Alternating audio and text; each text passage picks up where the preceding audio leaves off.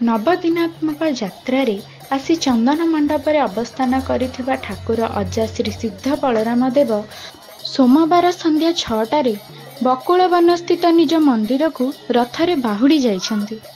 ଫେରିବା ବାଟରେ ସାକ୍ଷୀଗୋପାଳ ଠାକୁରଙ୍କ ମହାସୁଆର ସ୍ୱର୍ଗତ ଦାଶରଥି ଖୁଣ୍ଟିଆଙ୍କ ଘରେ ସ୍ୱର୍ଗତ ଖୁଣ୍ଟିଆଙ୍କ ପୁଅ ଅଦାଲତ ଖୁଣ୍ଟିଆ ପୋଡ଼ପିଠା ଭୋଗ ଲାଗି କରିଥିଲେ। ବିରି ଅରୁଆ ଚାଉଳ ଗୁଡ଼ ନଡ଼ିଆ ଅଳେଇଚ ଲବଙ୍ଗ ଗୋଲମରିଚ ଖିସମିସ୍ ଆଦି ମସଲା ଗୁଣ୍ଡ ଭଲ ଘିଅ କର୍ପୂର ମିଶ୍ରଣ କରି ମହାସୁଆର ଘରର କୁଳବଧୂମାନେ ଅଜାଙ୍କ ପାଇଁ ଶ୍ରଦ୍ଧାରେ ପୋଡ଼ପିଠା ପ୍ରସ୍ତୁତି କରିଥିଲେ। ଦୈନନ୍ଦିନ ଦେବନୀତି ମଧ୍ୟରେ ମଙ୍ଗଳ ଆଳତି ଅବକାଶ ଓ ବାଳଭୋଗ ପରେ ମଧ୍ୟାହ୍ନରେ ଚକାଛଡ଼ ଖେଚୁଡ଼ି ଭୋଗ ଅନୁଷ୍ଠିତ ହୋଇଥିଲା। ଅପରାହ୍ନରେ ଛେରା ପହଁରା ନୀତି ପରେ ଘଣ୍ଟ ଘଣ୍ଟି କାହାଳି ମୃଦଙ୍ଗ ବାଦ୍ୟ ଓ ହରିନାମ ସଂକୀର୍ତ୍ତନ ମଧ୍ୟରେ ଠାକୁରଙ୍କ ପହଣ୍ଡି କରାଯାଇ ରଥାରୂଢ଼ କରାଯାଇଥିଲା। ଶ୍ରଦ୍ଧାଳୁ ଓ ଛୋଟ ଛୋଟ ପିଲାମାନେ ଚନ୍ଦନ ମଣ୍ଡପ ନିକଟରୁ ରଥ ଟାଣି ନେଇଥିଲେ। ନବଦିନ ଅବସ୍ଥାନ ସମୟରେ ଆଖପାଖ ଲୋକେ ଆଡ଼ପ ମଣ୍ଡପ ଭୋଗ ଲାଗି କରିବା ସହିତ କିଛି କିଛି ଶ୍ରଦ୍ଧାଳୁ ପ୍ରତ୍ୟହ ଆଡ଼ପ ମଣ୍ଡପ ଦର୍ଶନ କରିଥିଲେ। ସାକ୍ଷୀଗୋପାଳ ମନ୍ଦିର ପ୍ରଶାସନ ତରଫରୁ ଏହି ସୁସଜ୍ଜିତ ରଥ ନିର୍ମାଣ କରାଯାଇଥିଲା।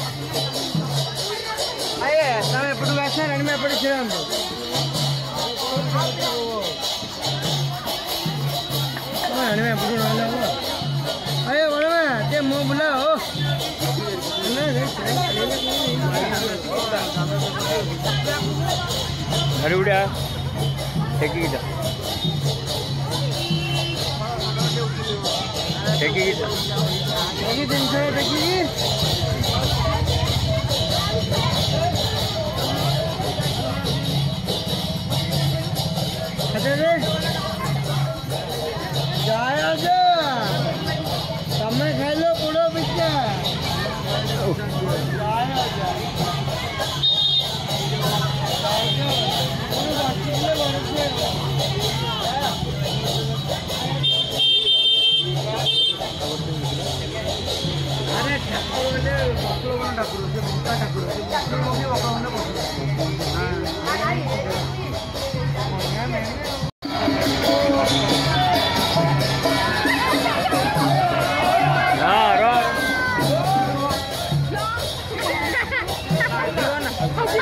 ha ha!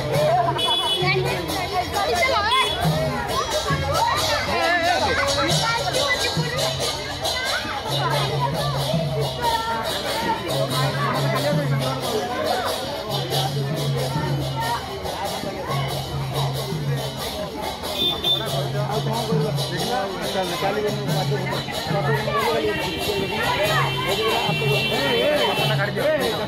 ¡Eh! ¡Eh!